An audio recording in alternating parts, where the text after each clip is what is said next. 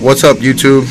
Uh, I want to talk a little bit about uh, the two little fishies, Phosban reactor, uh, pros and cons of the Phosban reactor, and uh, different ways of using it. Uh, it's a very versatile reactor as far as I'm concerned. Uh, one of my biggest things that I like about it is that it's small and compact compared to most of your reactors. This thing's only about three and a half inches round and it can handle up to 150 gallons of media which is a plus on my part because I'm working with tight space and I do plan on having three of these reactors and they'll all be inside my sump.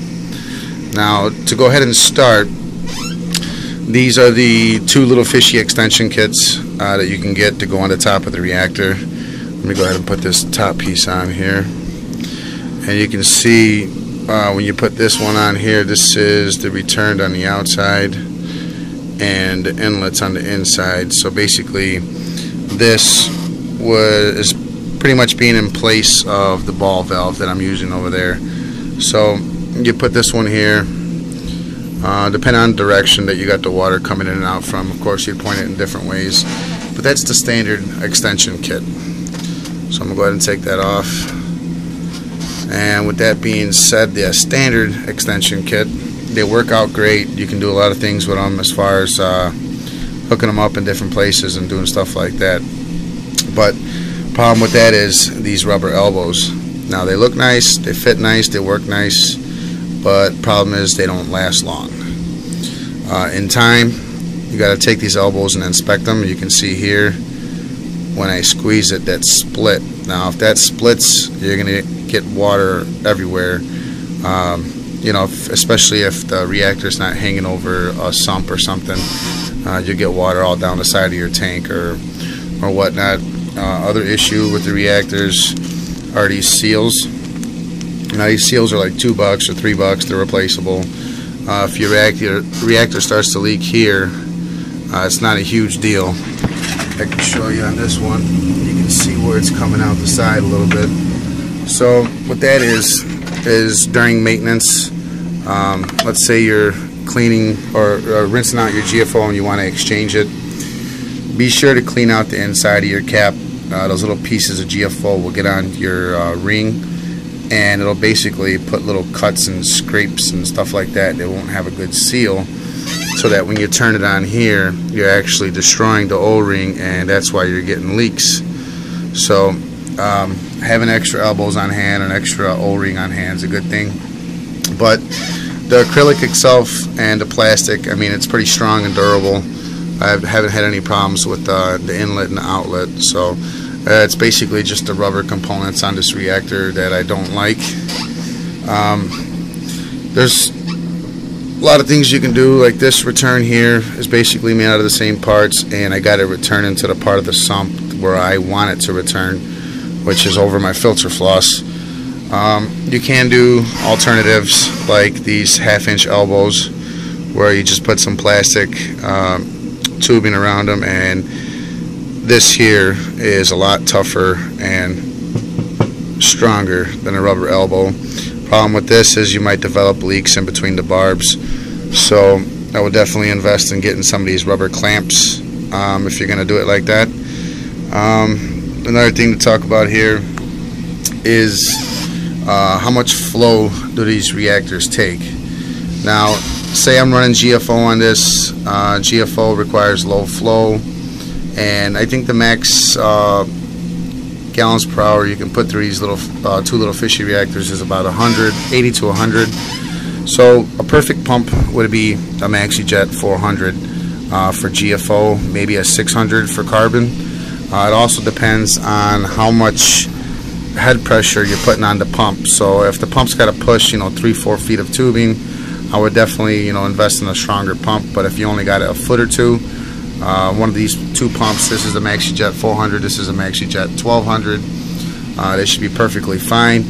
Um, you can also split your, say, you want to split the MaxiJet 1200 and you can, you know, send the flow to two, two different reactors and save some power and some room in your sump.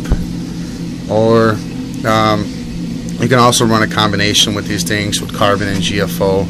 Uh, if you go to bulk reef supply, they show you how to mix their carbon and GFO together. Basically, um, never want to go past a 50-50 ratio. You always want to keep a little more carbon than GFO inside of it.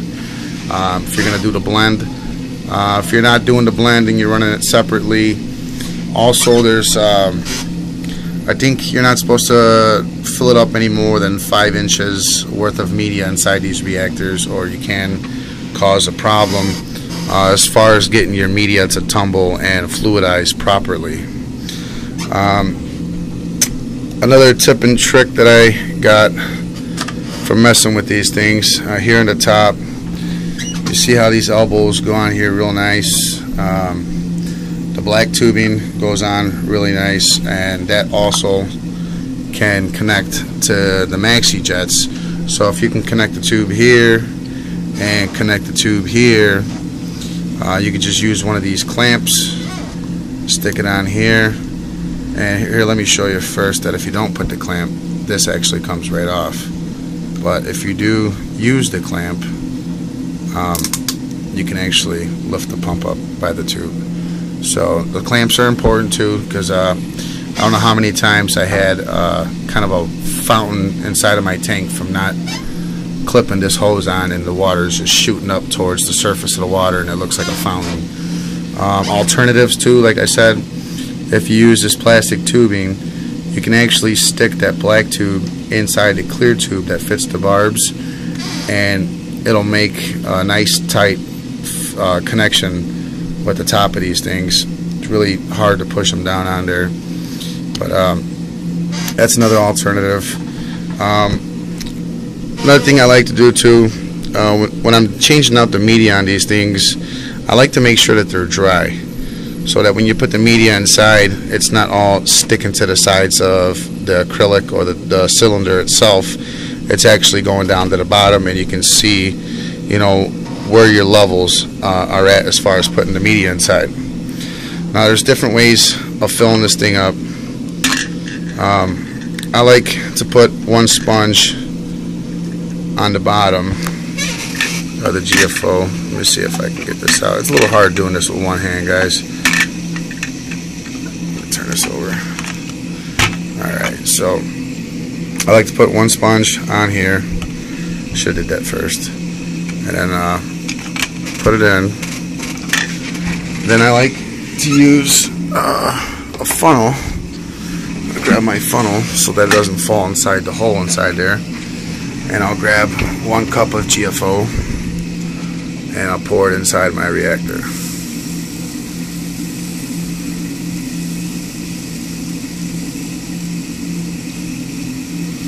Alright, now once you get it all in there,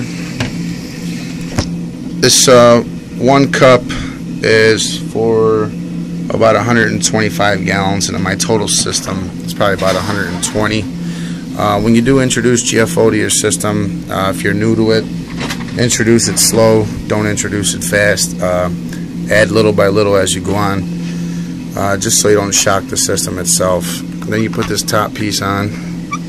See if I can get it on. There you go. And I also like to follow up with the foam pad on top. Now it's also a good thing too to have some of these extra on hand I like to use two. This is just preference. Uh, you don't have to use two up top, but I like to. So once that's all said and done, and you got your reactor filled. So sorry this is uh, taking long. This is being done in real time. So uh, don't edit my videos. Uh, okay, so now that this is ready and full, what I'll do is I'll take it, put it in my sump, It's going to float a little bit because there's air inside of it. And I'll connect my inlet to the reactor.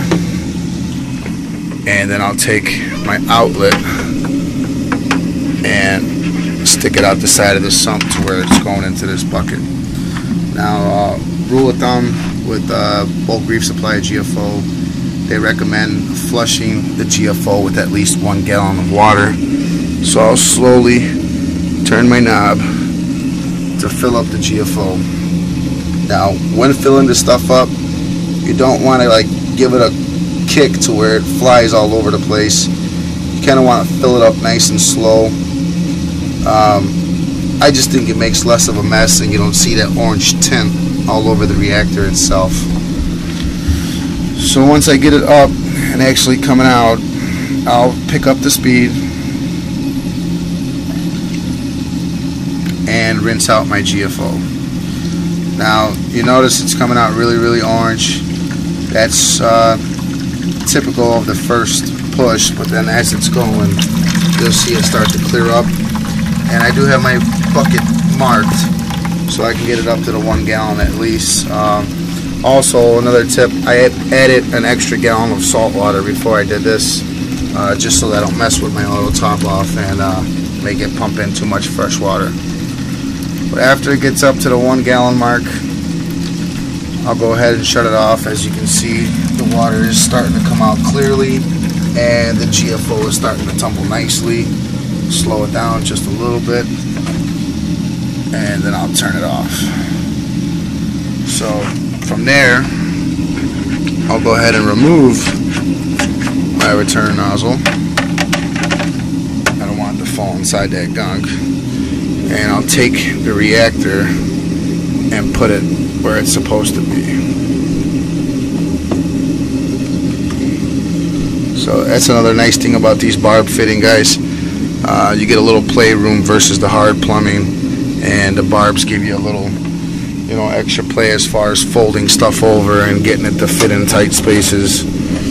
But you connect this back on, open this back up, and your GFO is now being used. Now I'm going to get down here so you can see the tumble that I get out of my GFO and just how I like it. So you get it moving a little bit just to get some of the air out and then slow it down. And I don't know if you can really see the movement in the GFO or not. Let me get it loose. Sometimes if you loosen it up, it'll get it moving. Uh, there you go. It's starting to get some tumble action. I don't know if the camera's showing you, but you can see up top it's tumbling. Uh, in the beginning, you'll see a little kind of like burst of uh, GFO coming up to the top, but after a while, it starts to settle down, and that's the reason why I put two sponges up top uh, to prevent it from coming into my tank. But that's a real-time uh, GFO change on a Phosban Two Little Fishies reactor, 150. Happy reefing.